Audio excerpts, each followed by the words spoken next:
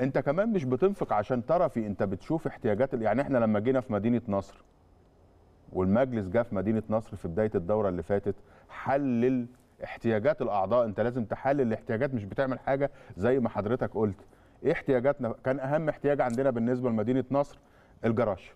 كان واحد من الطموحات الكبيرة اللي إحنا بقالنا 30 سنة كنا بنطمح إن يكون عندنا جراج داخل أسوار مدينة نصر. الحمد لله ربنا وفقنا في الجراج ويمكن أنا برضو هنا عايز آخد الفرصة دي وأوضح حاجة. إحنا لما بدأنا نشغل جراج مدينة نصر ده جالنا شركة شركة محترمة جدا. أول ما بدأت عملية التشغيل وعرفوا إن الجراج ده هيشتغل إحنا جالنا عرض ب 500 ألف جنيه في الشهر وما نعملش أي حاجة. ناخد 500 ألف جنيه ونسلمهم الجراج هم يبقوا مسؤولين على إدارته. بس كانوا عايزين يحملوا في الحقيقة الأعضاء جزء كبير جدا من رسوم الدخول للجراج. ودي معادله ما تمشيش معانا. الحاجة الثانية كمان إنه عايزني أسمح له إن غير الأعضاء يخشوا فين؟ يركن. آه. الجراج. قلت له لا لا لا لا إحنا عاملين الجراج ده اسمه جراج مين؟ أعضاء النادي النادي. النادي. الأهلي. آه. يبقى ده خاص بمين؟ بأعضاء النادي. النادي الأهلي. ورفضنا في الحقيقة وقمنا إحنا قلنا إيه نعمل حاجة كويسة قوي. في الحقيقة كان الكابتن محمود ومجلس الإدارة قال إحنا نشغل الجراج ده ثلاث شهور تجريبي لحيث ما نشوف التجربة بتاعتنا هتعمل إيه. إحنا في الحقيقة عملنا حاجة مهمة جدا وأنا عرضتها مع حضراتكم بس من منظور آخر. قلت لكم إحنا عيننا في جراج مدينة نصر 79 واحد. 79 واحد دول بياخدوا دي؟ عمالة. دي بياخدوا كام؟ محدش سأل نفسه ال 79 واحد دول بيكلفونا 135 ألف جنيه في الشهر. يعني بيكلفونا في السنة ما يقرب من مليون ونص مرتبات. في كلاب الحراسة اللي على أول الجراج لأن الجرا- الجراج مدينة نصر ده يعني له خصوصية شوية لأنه يا- في في جواره منطقة مهمة واستراتيجية فكان لازم يبقى في كلاب حراسة عشان تأمن دخول العربيات دي. كلاب وده الحراسة دي لصالح الأعضاء برضه. 85 ألف جنيه في الشهر. 85 85 ألف جنيه في الشهر يعني تقريبا بنتكلم في ب- بنعدي النهارده 160 و850 يعني بنعدي 900 ألف جنيه آه. و10 بالإضافة لمليون ونص يعني تقريبا بنتكلم في 2 مليون و400 ألف جنيه. تكلفة تشغيل غير بقى الاستثمار اللي محطوط في جراج مدينة نصر ده كان كام؟ آه، 60 مليون جنيه. إحنا حطينا الفلوس دي فبالتالي دي كلها خدمة المبلغ يعني. خدمة ده تكلفة كبيرة جدا. ولكن حتى لما جينا نقوم بعملية التسعير في الأول حطيناها بشكل بسيط جدا وقلنا إيه؟ ناخد خمسة جنيه مهم. عشان نحقق العدالة ما بين كل الفروع لأن زايد بتدفع خمسة جنيه فإحنا ناخد خمسة جنيه في مدينة نصر أول ثلاث ساعات. وكل ساعة بعد كده بجنيه بحد أقصى 10 جنيه.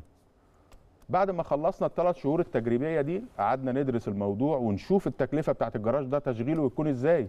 لأن مش هنقدر نستمر كده. هن... ه- قدرات النادي هتستنزف وفي النهاية الجراج ده مش هيتعمل له عملية صيانة دورية. أنت محتاج إن الجراج ده تحافظ عليه لأنه بقى أصل من أصول النادي واتضم خلاص للميزانية لأنه مشروع انتهى تنفيذه.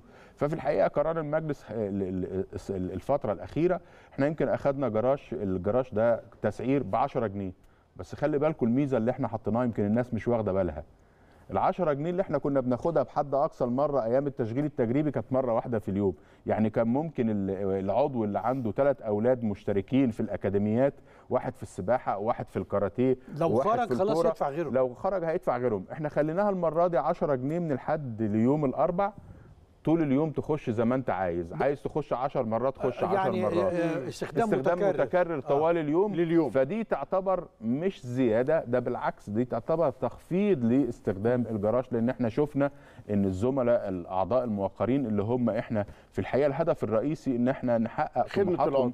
ونلبي خدمات متميزة. ده بالنسبة للجراج. طب قلنا بقى الأيام بتاعة الخميس والجمعة والسبت ال- ال- الضغط بيبقى فيها كبير جدا جدا جدا. فهنعمل موازنة ما بين الخميس وبقية أيام الأسبوع مع السبت ده هنخلي رسم الاشتراك يوم رسم الدخول يوم الخميس يبقى ب 15 جنيه بحيث إن إحنا يبقى عندنا متوسط تكلفة تقدر.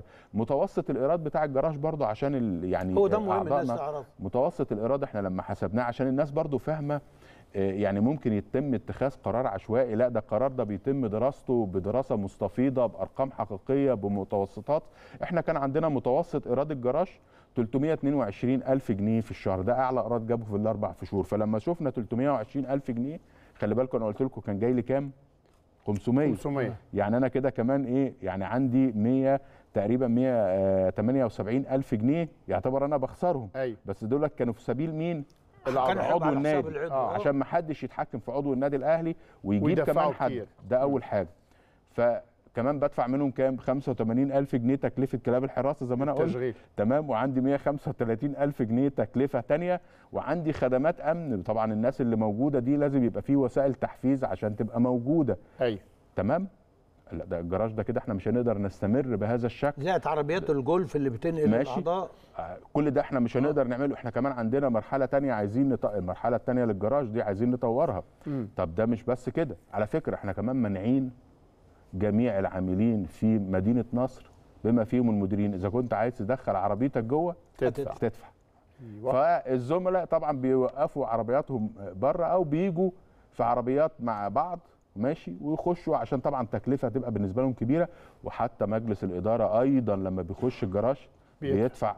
ثمن تكلفة الدخول. ده كده كان موضوع بسيط للموضوع الجراج فالجراج بالنسبة لنا هو الهدف الأساسي منه خدمة أعضاء النادي الأهلي في مدينة نصر وأيضا خدمة أعضاء النادي الأهلي في زايد. ولذلك كان أول القرارات اللي اخذها النادي مجلس الإدارة الموقر في أول جلسة له هو البدء في مرحلة جديدة لتطوير أماكن الانتظار للسيارات في فرع الشيخ زايد. ده برضو لأنك أنت عملت صالات جديدة في زايد ودي برضو مهمة هتزود آه حركة الأعضاء. هتزود. فده برضو كان بالنسبة لنا على فكرة ده كان معيار مهم في الجائزه إن إزاي أنت بتتحك بتقدر تقيس وتوصل لرضا الأعضاء وإزاي بتاخد القرار اللي يحقق الرضا. على فكرة ليس هناك رضا مطلق في صناعة قرار. طبعا يعني طبعا. الرضا بيغطي أو ما تيجي تاخد قرار أنت بتلبي بتلبي كل الشرايح اللي عندك في غالبيتها العظمى يعني تقدر ت- مثلا تقول أنا القرار ده يستفيد منه 90% لكن في نسبة ضرر على البعض آه لكن ما تقدرش رضا تحقق نسبي، رضا ما نسبي. تقدرش تحقق نسب الرضا المطلقة طبعا. اطلاقا في أي قرار أنت بتاخده بس بتشوف القرار الغالبيه شوف العظمى يا دكتور بالتجربة في الآخر الأعضاء بعد شوية لما بيلاقوا في مردود للي بيدفعوه والخدمات والكواليتي بتاعه ال- ال- ال- الخدمة. يعني بترضيهم ها؟ وتقتنع إن أنت بتتحمل معاهم زي ما بتحملهم بتتحمل معاهم. هيفهموا الوضع. وإحنا ده حريصين عليه في الحقيقة إن إحنا نطور. أنت عشان تطور خدمات رياضية عشان تطور خدمة رياضية لازم يكون عندك بنية تحتية كويسة. ويكون عندك أفراد قائمين على الخدمة كويسة. يعني زي زي الفرقة الرياضية بالظبط عندك لعيبة كويسة وعندك جهاز فني كويس. انت باصص لقدام كمان الناس. لازم تفهم. ولازم يكون عندك ملعب تدريب كويس ولازم يكون عندك منشأة. التشغيل ان ما تمش صح. الصيانة مش هتتم صح. عمر الافتراضي بتاع الخدمة آه لن يستمر فترة طويلة. آه وانت مش هتقدر تاخد الخدمة دي بعد كده. الناس ممكن تتوقف تقول لك طب ولازمته إيه كلاب الحراسة؟ لا مهم جدا. لا آه آه انت انت دلوقتي الدخول والخروج كل العربيات دي كانت بره النادي. كل العربيات دي كانت بره النادي. لكن لما تبقى كلها جوه النادي محتاجة تأمين. بس الشيء الجميل في الحقيقة برضو يعني وإحنا بنشتغل حتى في في الجائزه إحنا عندنا أعضاء النادي الأهلي في الحقيقة لهم ميزة يمكن إحنا بنبقى فخورين بيها جدا إن هو عضو بناء مش بتاع نقد هدام ابدا. يعني أنا أنا بقى. يعني أنت طبعا بحكم إنك كنت معايا آه، يعني لا يعني أنا 25 هقول لك حاجة يا دكتور. أنا معايا ورقة كده. أس... لو يعني سمحت لي إن أنا أنا بس يعني بالكلمة دي عايز أوضحها أكتر. آه. آه. أنا اشتغلت مدير في النادي الأهلي ورحت في أكتر من نادي. آه عضو النادي الأهلي الأكثر حرصا. لا التزاما بما تقرره الإدارة وانضباطا في تنفيذ التعليمات. ما بتلاقيش مناوئه ما لا لا لا مقاومة. وبعدين ده بيخش يعني عضو النادي الأهلي أنا ببقى سعيد جدا وهو داخل يقول لي إيه أنا عارف إن الوقت مهم بالنسبة لك فمش هاخد من وقتك كتير أيوه الكلمة دي في الحقيقة بتخليني حريص جدا جدا جدا إن أنا كويس آه، إن أنا أسمعه كويس وأقدم خدمة لعضو النادي لأنه هو أصلا حاسس بيا مشكلته. آه آه. ده الراجل داخل وبيتلطف وبيتحسس في إنه ياخد منك عدد محدد من الدقائق عشان يعرض وجهة نظره أو تحدي بيقابله جوه النادي الأهلي فبيقول أنا بعد إذنك يا دكتور أنا عارف إن الوقت وعارف إن المهام كتير جدا جدا وعندنا مهام كتير جدا جدا أنا مش هاخد غير. ففي الحقيقة عضو حريص بشكل فأنت طبعا بتبقى حريص جدا إنك تلبي له كل طموحاته وكل رغباته لأن هو فعلا حريص على النادي وحريص على إدارة النادي.